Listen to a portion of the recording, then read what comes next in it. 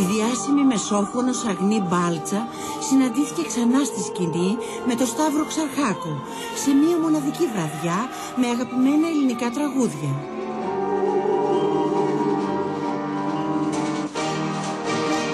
Η μεγάλη καλλιτέχνη αγωίτευσε το κοινό ερμηνεύοντας με το δικό της ξεχωριστό τρόπο κομμάτια του Χατζηδάκη, του Θοδωράκη, του Ξαρχάκου, του Τσιτσάνη και του Περιστέρη. Την κρατική ορχήστρα ελληνικής μουσικής διεύθυνε ο Σταύρος Ξαρχάκος.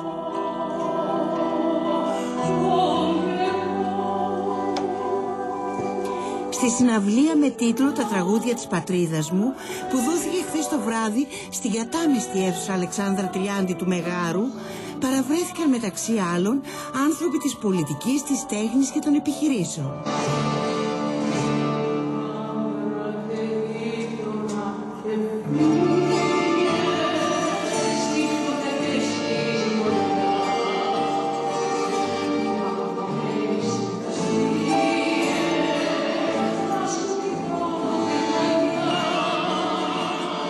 το κοινό επιφύλαξε ολόθερμη υποδοχή στην Αγνή Μπάλτσα και τον Σταύρο Ξαρχάκο, οι οποίοι αφιέρωσαν τα έσοδα της συναυλίας υπέρ των σκοπών του φιλανθρωπικού σωματείου «Η Αγάπη».